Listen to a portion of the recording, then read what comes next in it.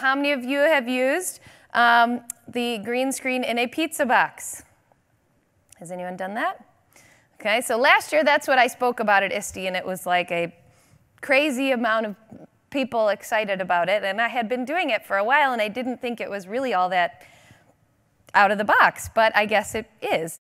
So I went to my local pizza store and I asked for six pizza boxes. They handed them to me. I had extra paint left over from my green wall when I moved into the new room. So my, um, my custodian helped me and we painted them, let them dry. And now I have six miniature recording studios. The amazing thing about these is that the classroom management that I didn't realize I was building, um, that I wasn't building. It's the green boxes that did it for me.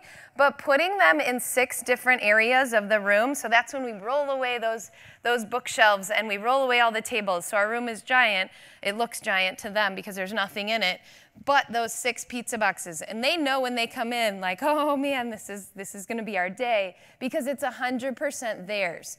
I am not involved at all. I set up the box and I leave them straws from Starbucks, um, which are the green tools. So, so in essence, I've spent hardly any money so far, maybe a dollar or two. Um, if I had my extra paint, that was kind of free with whatever, and the pizza boxes were free. I grab a couple extra straws at Starbucks every time I go because I heard they're getting rid of them.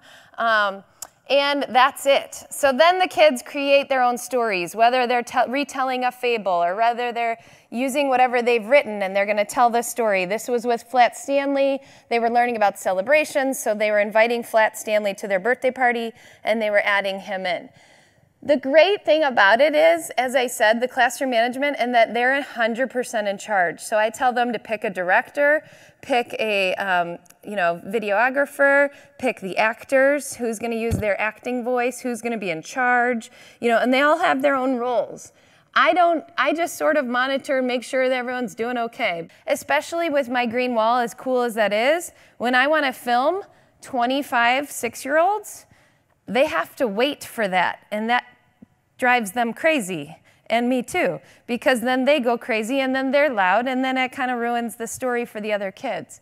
So with this, they don't have to wait, number one. And number two, they're not nervous because yes, it's their voice, but it's the character they drew and taped to the straw and they're not in front of the screen. Because sometimes, you know, as you know, they shut down when they're in front of that screen.